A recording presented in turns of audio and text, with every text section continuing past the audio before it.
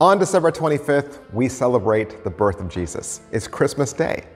And throughout the month, we might sing the 12 Days of Christmas. It's a fun song to sing.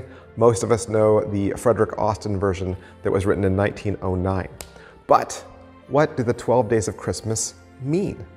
Well, the song originally was a fun song, right? And certainly we all enjoy it because of the, the many repeating verses, and we all love to sing Five Golden Rings. But could we find some similarities, some correlations, some symbolism between the choruses and the things that we believe?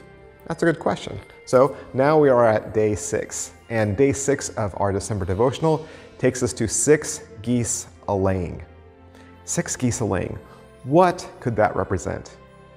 Well, tradition says that this represents the six days of creation, the first week where God makes the world. Now, you might argue and say, well, wait, there are seven days in that first week.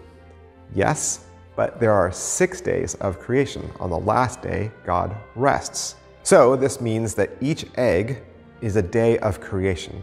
It's a brand new thing when God hatched or when he formed the world. You know, when we look at nature, we can remember God and that He created it. Nature can be awe inspiring, even to the point of being incomprehensible. When you look at the riches of a sunset, or you marvel at the twinkle of stars, or how diverse all the animals are, they are all a testimony to our Creator and Designer. The details of nature, they reveal thoughtfulness and creativity. And it's really difficult to imagine how such beauty could have come to existence without God. So seeing God's creation can invite us into a deeper appreciation for God. And in nature, when we are surrounded by His creation, we do feel closer to Him. That's the beauty of creation. It is a reminder of God. And when we respect or honor any part of God's creation, whether it be an animal or a person, we are seeing the value in the things that God created. And by doing so, we are admiring our Creator.